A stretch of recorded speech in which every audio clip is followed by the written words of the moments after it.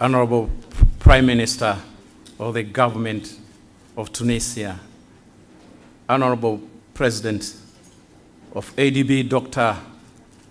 Donald Kaberuka, Your Excellencies, Ministers, distinguished guests, ladies and gentlemen, good morning. Honorables, I would like to welcome you all to this high-level dialogue between ministers of finance and ministers of health from the whole continent of Africa. This conference is unique in many ways. It, bring, it is bringing together two important sectors of utmost importance for improving the quality of all people in our continent, that is Africa, the economy and health together.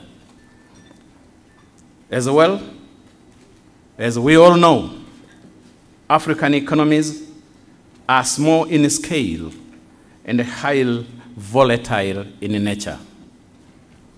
Economic growth has been impeccable, impacted by financial, food, and energy crisis that recently encarved the world.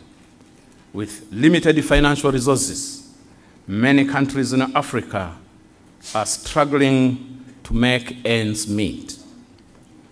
In fact, the state of African economies is clearly reflected in social development indicators. Poverty is high, per capita incomes is still low, and per capita expenditure on health and education is lowest in the world, and we all know. On the health side, ladies and gentlemen, people in Africa occupy the lowest health status in the world. Most of them pass away at a very early stage of their life. And as a result of preventable and curable diseases, such as malaria and tuberculosis, uh, these are the main causes. Those who are surviving, surviving suffer from malnutrition and poor health almost entirely in the rest of their life.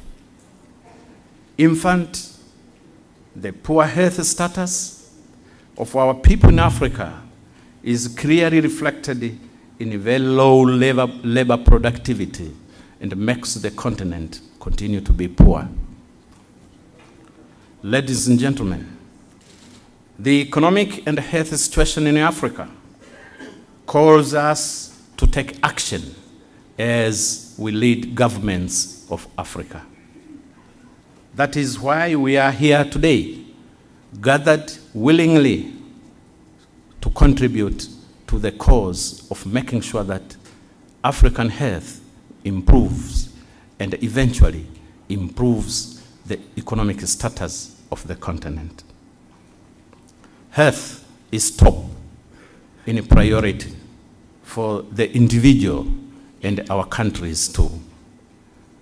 Everybody would like to have lifelong and a healthy life as we live in, on this world. We would like our economies to provide the means to achieve results individually and collectively as we live together in this beautiful continent.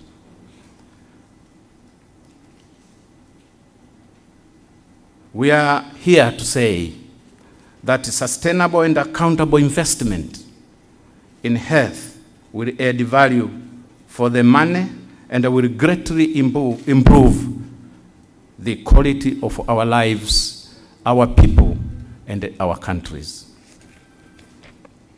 There, there is ample evidence all the continent that demonstrates this is doable and is highly bene benefitable for our countries.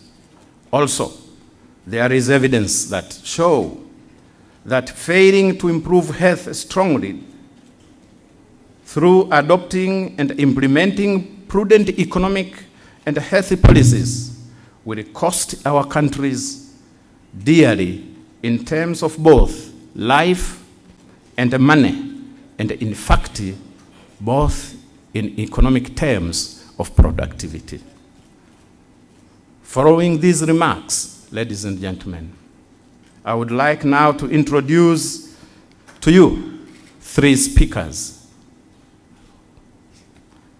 First is Dr.